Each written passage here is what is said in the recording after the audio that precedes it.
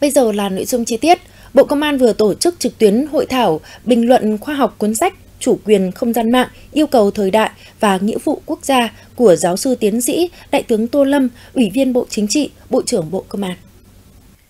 Hội thảo có hơn 80 tham luận từ các chuyên gia, nhà khoa học và tướng lĩnh, lãnh đạo trong lực lượng công an cả nước.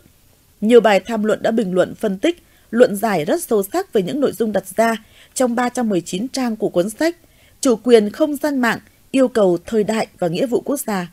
Song song với việc bảo vệ chủ quyền quốc gia trên đất liền, vùng trời, vùng biển, trên không gian vũ trụ, thì hiện nay nhiệm vụ bảo vệ chủ quyền quốc gia trên không gian mạng là không gian thứ năm vô cùng quan trọng. Hội thảo nhấn mạnh nội dung cuốn sách Chủ quyền không gian mạng, yêu cầu thời đại và nghĩa vụ quốc gia, góp phần xây dựng văn hóa mạng, nâng cao ý thức cảnh giác, nhận diện rõ ràng những nguy cơ thách thức mới để có cách thức biện pháp tuyên truyền, tác chiến trên không gian mạng, bảo vệ vững chắc chủ quyền lãnh thổ quốc gia trên không gian mạng và phòng chống hiệu quả hơn với các loại tội phạm lợi dụng công nghệ cao. Sáng ngày 3 tháng 12 năm 2022, Sở Giáo dục và Đào tạo Đắk Lắk đã khai mạc hội thi làm đồ dùng dạy học, đồ chơi tự tạo cấp học mầm non tỉnh Đắk Lắk năm học 2022-2023.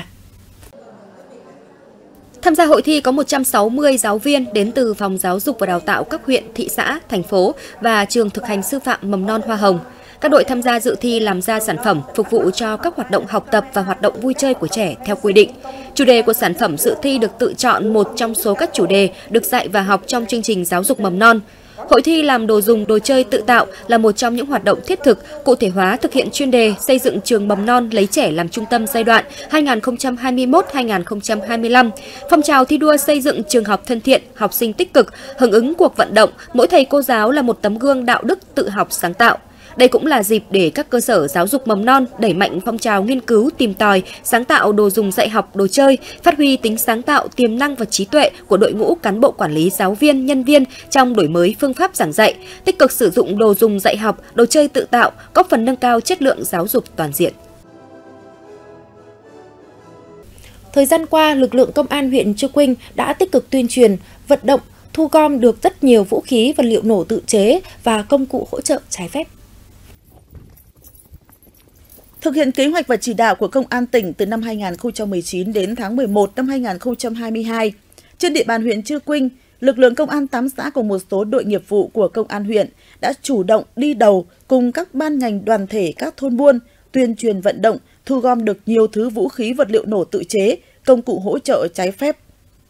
Số lượng thu gom được gồm 6 khẩu súng với gần 100 viên đạn, hơn 250 súng cồn, súng hơi ga và súng săn tự chế các loại – với hàng chục viên đạn, linh kiện để lắp ráp tự chế, hàng chục dao lê, mã tấu, công cụ hỗ trợ trái phép và một số vật liệu nổ các loại. Trong đó riêng 15 ngày đầu thực hiện đợt gia quân cao điểm bảo vệ an ninh trật tự trước, trong và sau Tết cổ truyền Quý Mão 2023, lực lượng công an các xã cùng các đội đã tuyên truyền vận động thu gom được hai khẩu súng quân dụng với 40 viên đạn, 12 khẩu súng cồn, hơi ga và súng săn tự chế các loại và một số công cụ hỗ trợ trái phép.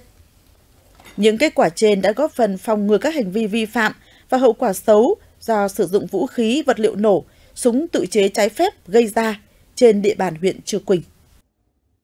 Ủy ban Nhân dân tỉnh Đắk Lắc đã yêu cầu các sở ngành địa phương triển khai những nhiệm vụ trọng tâm về phát triển đô thị thông minh trên địa bàn tỉnh.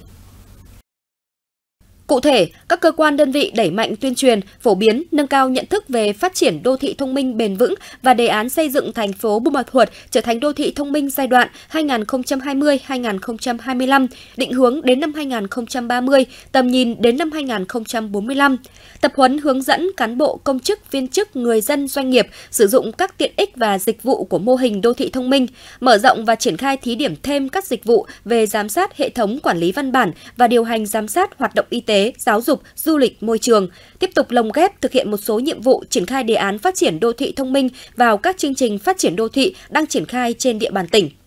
Đối với thành phố Buôn Ma Thuột, cần tăng cường khuyến khích, nghiên cứu phát triển các ứng dụng công nghệ và giải pháp về quy hoạch đô thị thông minh, quản lý đầu tư các công trình hạ tầng kỹ thuật đô thị thông minh, đồng thời nâng cao trách nhiệm của các cơ quan đơn vị và người đứng đầu trong công tác quản lý quy hoạch đô thị.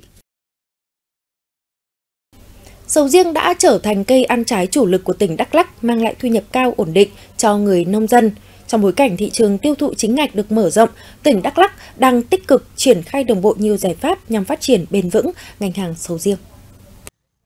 Hiện diện tích sầu riêng của toàn tỉnh khoảng 15.250 ha, chiếm 35,2% diện tích cây ăn quả, tăng 13.000 ha so với năm 2015. Sản lượng ước đạt 156.392 tấn, ước sản lượng đến năm 2025 ước khoảng 300.000 tấn. Toàn tỉnh Đắk Lắk đã được Cục Bảo vệ Thực vật Bộ Nông nghiệp và Phát triển Nông thôn cấp 23 mã số vùng trồng sầu riêng với diện tích 1.447,9 ha, 15 mã vùng trồng đã thiết lập chờ duyệt với diện tích 680,1 ha. Toàn tỉnh cũng đã có 6 doanh nghiệp thu mua quả sầu riêng tươi từ các vùng trồng đã được cấp mã số để xuất khẩu chính ngạch sang thị trường Trung Quốc. Hiện Đắk Lắk đang tích cực triển khai đồng bộ nhiều giải pháp nhằm phát triển bền vững ngành hàng sầu riêng, bao gồm tổ chức rà soát lại các loại cây ăn quả chủ lực nói chung và sầu riêng nói riêng về diện tích, năng suất sản lượng, mã số vùng trồng, xây dựng và hoàn thiện quy trình theo chuỗi giá trị đối với các mặt hàng xuất khẩu chính ngạch sang Trung Quốc, hoàn thiện kế hoạch triển khai công tác thiết lập, quản lý giám sát mã số vùng trồng, mã cơ sở đóng gói phục vụ xuất khẩu nhằm thúc đẩy phát triển bền vững ngành hàng sầu riêng theo quy mô sản xuất hàng hóa, đáp ứng yêu cầu của nước nhập khẩu.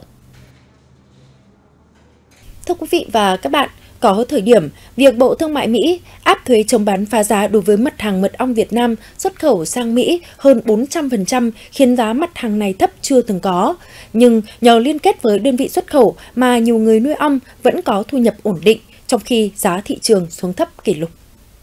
Thời điểm này năm trước, khi giá mật ong trên thị trường dao động từ 30 đến 40 ngàn đồng mỗi lít, thì những người liên kết với đơn vị xuất khẩu đã bán được giá 60 đồng mỗi lít. Nay do ảnh hưởng của thị trường xuất khẩu nên giá mật ong chỉ ở mức 20.000 đồng mỗi lít, nhưng những người liên kết với công ty xuất khẩu vẫn bán được giá cao hơn.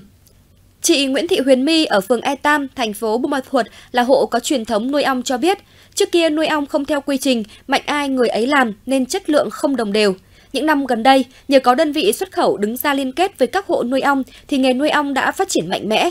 Khi liên kết với công ty, các hộ nuôi ong được hướng dẫn về kỹ thuật, chuyển giao công nghệ, phương pháp, kỹ năng quản lý trại ong và thành lập bộ phận thu gom sản phẩm tới từng cơ sở, tổ chức kiểm tra giám sát quá trình thực hiện, quản lý danh sách nguồn gốc từng lô sản phẩm. Giá mật được công ty thu mua cao hơn giá thị trường và được công khai cập nhật trên website của công ty để người nuôi cân nhắc khi có nhu cầu bán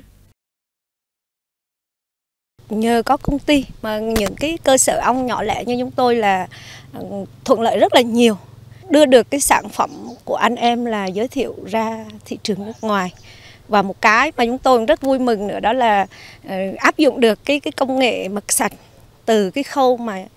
à, chăn nuôi cho đến cái khâu mà mà sản xuất mật sạch. Thì hiện nay thì cũng mong muốn là là à, được công ty là là hỗ trợ thêm về các cái, ờ, cái buổi tập huấn cũng như là các cái tiếp cận được những cái cái nguồn vốn. Việc thu mua sản phẩm được thực hiện theo quy trình nghiêm ngặt từ trại nuôi ong về đến kho của công ty. Phòng thí nghiệm kiểm tra tất cả các chỉ tiêu như dư lượng thuốc bảo vệ thực vật, các loại thuốc kháng sinh và một số chỉ tiêu của nhà nhập khẩu. Nhờ thực hiện khắt khe các quy định theo đúng hợp đồng liên kết nên giá thu mua ổn định.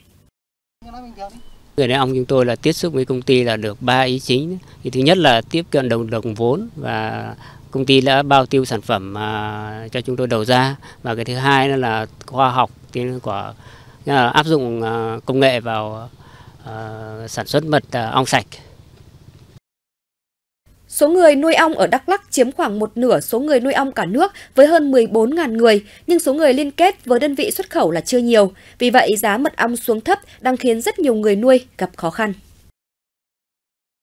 Thưa quý vị và các bạn, Nghị quyết Đại hội đại biểu Đảng bộ tỉnh Đắk Lắk lần thứ 17 nhiệm kỳ 2020-2025 đề ra mục tiêu giảm tỷ lệ hộ nghèo bình quân từ 1,5 đến 2% một năm. Để đạt được chỉ tiêu này, cấp ủy Đảng chính quyền các địa phương tỉnh Đắk Lắk đã triển khai thực hiện nhiều giải pháp đồng bộ thiết thực, đưa các chủ trương chính sách của trung ương của tỉnh về giảm nghèo bền vững vào cuộc sống, giúp nhiều hộ nghèo, cận nghèo từng bước vươn lên cải thiện đời sống, thoát nghèo bền vững. Giai đoạn 2020-2025, huyện Chư mở Ga phấn đấu hàng năm giảm từ 3 đến 3,5% hộ nghèo. Để thực hiện, huyện Chư mở Ga tập trung mọi nguồn lực, hỗ trợ đầu tư cơ sở hạ tầng, phát triển sản xuất, đào tạo nghề, giải quyết việc làm, thực hiện chính sách tín dụng ưu đãi cho hộ nghèo, nhân rộng mô hình giảm nghèo, giúp hộ nghèo ổn định cuộc sống, vươn lên thoát nghèo bền vững. Huy động các cơ quan đoàn thể, doanh nghiệp hỗ trợ cây con giống cho người dân vùng đồng bào dân tộc thiểu số, vùng khó khăn. Đầu năm 2022, gia đình tôi được địa phương tạo điều kiện cho vay vốn ưu đãi, được Hội Phụ nữ huyện hỗ trợ nuôi ba con dê sinh sản và được hướng dẫn kỹ thuật chăm sóc. Sự hỗ trợ này đã tạo động lực để gia đình tôi cố gắng lao động sản xuất, chăm sóc cây trồng vật nuôi, vươn lên thoát nghèo. Xác định công tác giảm nghèo nâng cao đời sống cho người dân là một trong những nhiệm vụ trọng tâm. Đắk Lắk đã triển khai nhiều giải pháp nhằm hỗ trợ người dân. Tính từ năm 2016 đến nay, tỉnh đã xây dựng mới duy tu bảo dưỡng 1.486 công trình, thực hiện 685 dự án phát triển sản xuất và đa dạng hóa sinh kế cho trên 13.700 hộ nghèo cận nghèo, hộ mới thoát nghèo với tổng số tiền trên 337 tỷ đồng. Qua đó giúp nhiều hộ nghèo phát triển kinh tế, ổn định cuộc sống. Tập trung à, tối đa nguồn lực, à, kể cả đầu tư của trung ương, của tỉnh và huyện cũng phải có những cái nguồn lực để tập trung vào cái khu vực mà để góp phần vào xóa đói giảm nghèo của vùng đồng bào dân tộc thiểu số. Ở trong đó có xã Esin. Và cái nhóm giải pháp thứ hai là phải tập trung vào công tác tuyên truyền giáo dục để tập huấn, để nâng cao nhận thức cho đồng bào, để hiểu rõ được cái sự quan tâm của đảng, nhà nước và đồng bào cũng phải có trách nhiệm để thoát lên, làm giàu. Đắk Lắk phấn đấu đến cuối năm 2022 giảm từ 1,5 đến 2% hộ nghèo. Mục tiêu của tỉnh là không chạy theo số lượng mà việc giảm nghèo phải gắn với thực tế. Tùy hoàn cảnh các hộ nghèo được tiếp sức hỗ trợ khác nhau, đồng thời đổi mới công tác tuyên truyền vận động để hộ nghèo nhận thức rõ vai trò trách nhiệm bản thân để vươn lên. Thì à, hàng năm cũng như là cái nguồn đầu tư công của nhiệm kỳ thì à, cũng rất là quan tâm à, bố trí các cái nguồn lực à, của, từ ngân sách địa phương à, để à, thực hiện cái việc là xây dựng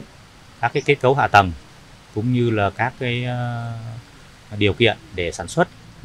để phục vụ cho cái việc sản xuất, nâng cao cái đời sống và kinh tế ở các cái vùng đồng bào dân tộc thiểu số. Tuyên truyền vận động để thay đổi cái nếp nghĩ, cách làm, các cái phương thức sản xuất À, đối với ờ, bà con à, đối với cái vùng đồng bào dân tộc thiểu số ờ, để à, thay đổi một cách căn cơ về cái phương thức sản xuất cũng như là cách sản xuất ờ, cách làm của bà con lâu nay để đạt được cái mục tiêu cuối cùng là nâng cao cái đời sống cũng như hiệu quả sản xuất của bà con. Thời gian tới, cấp ủy Đảng, chính quyền các địa phương tăng cường chỉ đạo các ngành chức năng các địa phương trên địa bàn tỉnh đẩy mạnh tuyên truyền về mục tiêu giảm nghèo bền vững, đẩy mạnh phong trào cả nước chung tay về người nghèo, không để ai bị bỏ lại phía sau, tăng cường công tác vận động các tổ chức cá nhân hỗ trợ người nghèo, thực hiện tốt các chính sách của Đảng, Nhà nước về giảm nghèo bền vững.